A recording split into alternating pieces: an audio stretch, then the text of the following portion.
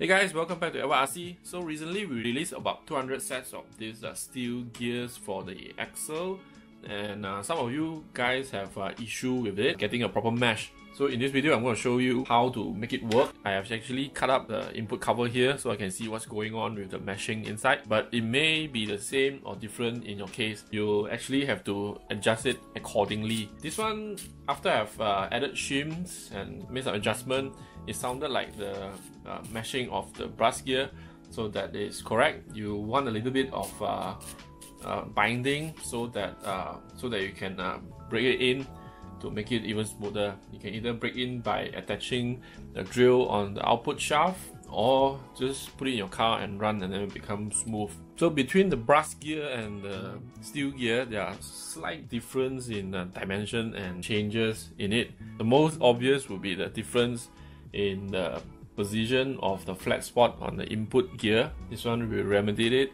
Uh, we'll cut a further 1mm uh, flat spot on the steel shaft. As well as the size of the steel gear, there's a slight difference. So basically, I need to add shim to this to make it run smooth.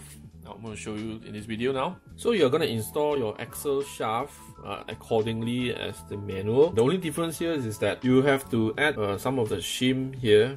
These are M2 shim, okay, that you can purchase separately. They are M2 size shim uh, or washer with a M3 size hole. You can buy this M2 shim locally and then drill it with a 3mm or M3 size drill bit so that it fits into this shaft. It has to be M2 otherwise uh, M3 wouldn't fit in the cavity over here. If you have a 6x6 metal upgrade packs uh, that comes with this shim, if it's a 4x4 metal upgrade packs then currently they don't come with it yet but you can get it from the official store. In my case, I need to add about uh, 6 shim over here in between the ring gear and the bearing. But in your case, may be different. The point here is that you want to reduce the play when this shaft is placed on the axle case. So in this case, there's hardly any play now. It's quite solid. So you can ensure the position of the ring gear in the axle so there's uh, no play uh, that causes some of the jamming or gear jumping issue.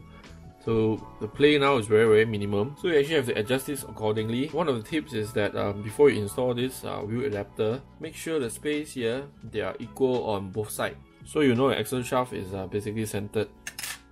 Then you can install it. While you're installing, uh, push it in as well to uh, reduce any gap.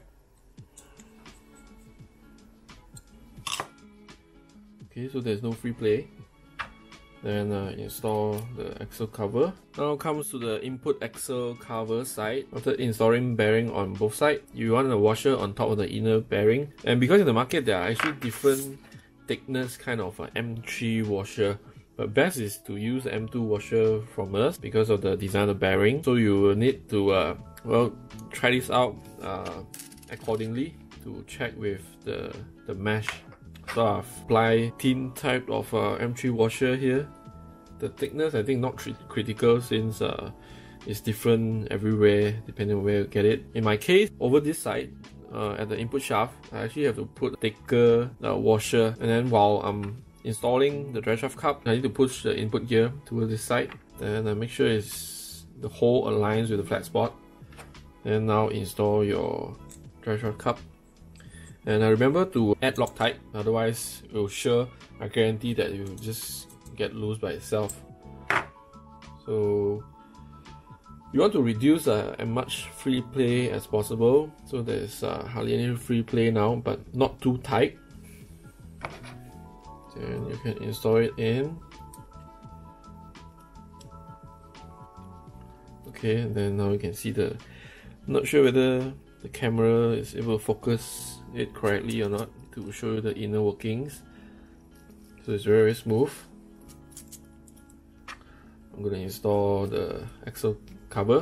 Be sure to remove the paint on all four studs by gripping it with a plier. This is a method by Run the RC very clever method. Once you have removed the paint on four studs you can uh, well drop it in easily of being very tight. Then I'm to just install only two screws for demonstration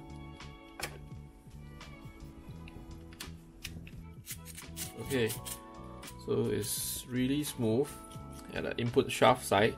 At the output shaft, if there's slight bind, I think this is a good thing so that uh, you give it a run in so that it's meshing properly. Otherwise, if you are spinning your output shaft and it's very smooth, I think you will get jammed at certain angle because I realized the actual issue with this is the free play at the input shaft is swinging left and right so causing the gear to not mesh properly so what happened is when when it swings towards left the gear actually separate apart so the two gears actually collide together and causing the jam. So that's why you want to close up mesh in between the input gear and the ring gear as much as possible without causing uh, it to bind completely.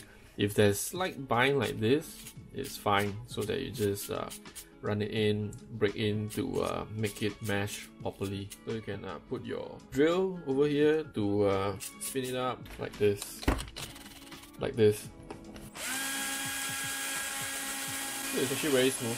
So I hope this helps. If you find this video helpful, you can buy me a coffee. You can find out a link in the description. If you want to buy anything WP with uh, after sales support, you can check out the official store. And we have a new release here. This is uh, the realistic accessories pre-painted so you do not need to paint it by yourself anymore which is really tedious. So I'll do a separate video uh, unboxing this. So please like and subscribe because according to YouTube there's 95% of you guys who never subscribe. So smash the like and subscribe button. I'll see you on next video. Yes I'm serious there's next video. So see ya. Bye